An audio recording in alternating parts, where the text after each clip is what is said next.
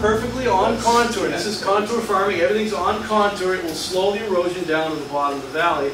But using the techniques from keyline design, starting with finding your key point, making a key line which is con on contour to the key point and paralleling up, paralleling down, we then start to make decisions. And what's more important than do this, do that, is that you have the ability to know what are your goals and your objectives, why you want those as goals and objectives, and how are you going to accomplish that instead of just merely parroting something step by step. You may want to take your water from here and zigzag it all across the landscape. You may want to take your water like that last slide that I passed through and I came back from that just spreads it out to the ridges.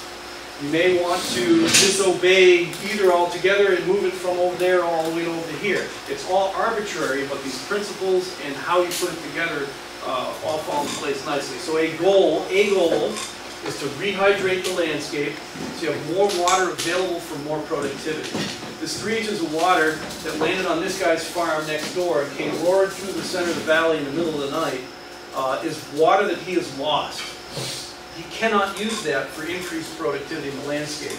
The water that you guys saw last night spreading out towards that ridge has had time to soak in. It's slowed down. It's non-erosive. It goes in rodent holes. That's water that I can store in the soil column to feed my, my trees. You can get more productivity out of the landscape. If he's in an area with 12 inches of rain, he can get more growth in that area than 12 inches of rain uh, will supply anybody else with. Because you're taking that water, you're not letting it go away. Do you ever have overland water flow at all? Yeah. Yeah, so why? That's a, that's a huge waste of resources. Probably the most destructive force known to mankind. It's even more destructive than the nuclear weapons that uh, Oppenheimer invented.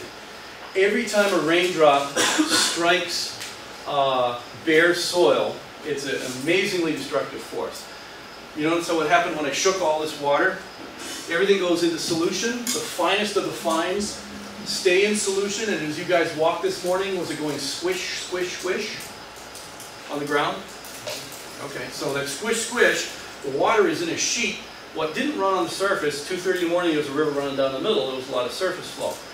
The squish, squish that you feel, all this water is in a sheet laying on the, on the shape of the, of the planet, and it's moving slowly towards the low spots, gradually towards the low spots, some of it soaking in and the finest of the fines stay in suspension for a long time. This water is still cloudy. There's still, excuse me, there's still tiny soil particles in that. Now, in part, that's how our soil washes away and washes away. Even on a perennial grass pasture that looks to you or me to be perfectly 100% vegetated with perennial ground cover, if you can look down and see bare black dirt, you're getting erosion. You're getting this sheet erosion. It's happening slowly, insidiously over time. And of course, there's mechanical forces. With a little bit of, uh, what is, this? Owen Hablutzel. Um, this was his Whirlwind Farm project. Uh, one year later, this is what it's like. Now think also, we'll see this happen uh, out here, and especially in the pepper patch, as the sun comes out. Uh, we know that this, this water splashed things up. What settled out at the bottom first? Sand. The sand, the silt, and the finest of the fine settle on top. And what are the finest of the fine particles? Clay. So now we get this clay surface. What happens when you take wet clay and you bake it? You get pottery. So, you guys really see that? We might have to like that down a bit because that this is all cracked, just like pottery shards. But we also don't want to cook that can but we also don't want to cook people. Here we go. So now what you have, all of the agricultural fields right around here, right now, are in the process of turning the surface of the soil into pottery.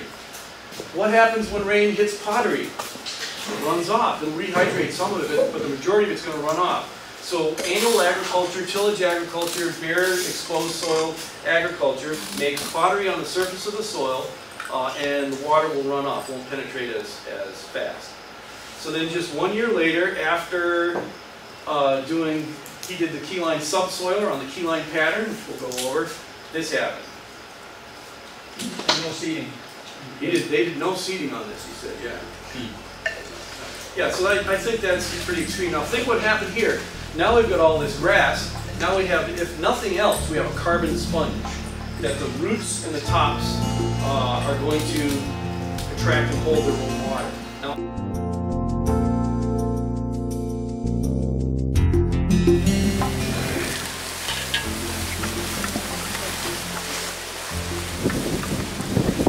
This is a tool that I think has had the most dynamic impact on the whole farm. It's the subsoiler.